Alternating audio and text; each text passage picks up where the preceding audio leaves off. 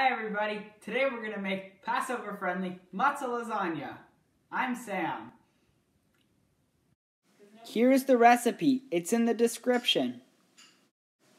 Preheat the oven to 350 degrees Fahrenheit. Okay, first we're going to make our cheese mixture, which is 3 cups of pressed cottage cheese, fresh from a cow. Then you're going to add eggs beaten, fresh from a chicken. You're going to mix that all up. And then add some spices. That's oregano, basil, salt, and pepper. Now we're going to add some wilted spinach, which you just heat it up over a pan until it wilts, as such demonstrated in my hand. Okay, now you have to add half of your shredded cheese. Okay, now you're gonna soak the pieces of matzah in warm water for about 30 seconds, you know, half a minute. Now time for layering. You're gonna spread the tomato sauce on the bottom of the dish evenly. Next layer, matzah. You soak it and then you have to drain it or else it gets soggy. I'm gonna remind you that every time, so you'd be silly not to. Next layer, another tomato sauce. You want to cover all of the matzah in the tomato sauce and evenly spread it around. Because you don't want clumps, right? Who wants clumps? Next layer, our cottage cheese mixture.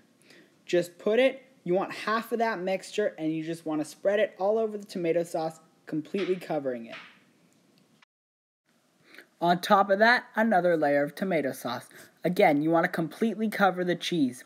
And about once you've gotten all the tomato sauce on, you want to put your next layer of matzah in the warm water so it has to, time to soak.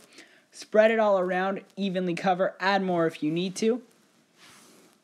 Once the tomato sauce is all on, you want to drain the matzah, take it out of the water, and then put it right on top of the tomato sauce.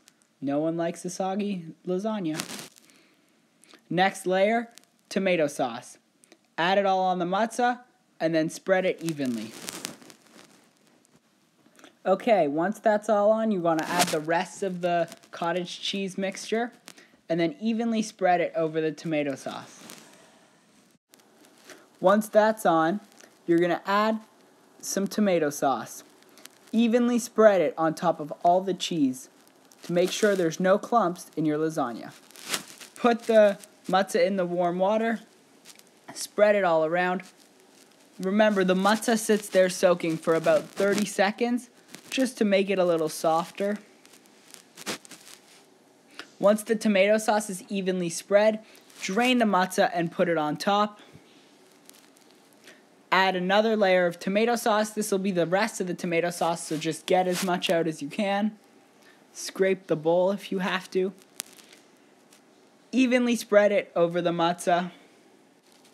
Next, you want to add the rest of the shredded cheese. That's Parmesan and mozzarella. Just add all of it on top and make sure you evenly spread it. Now you're going to take it and put it in the oven, preheated to 350 degrees for 40 minutes. After 40 minutes of waiting, our lasagna is finally ready.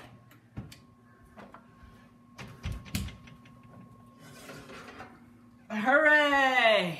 Thanks for watching, and remember to like and subscribe.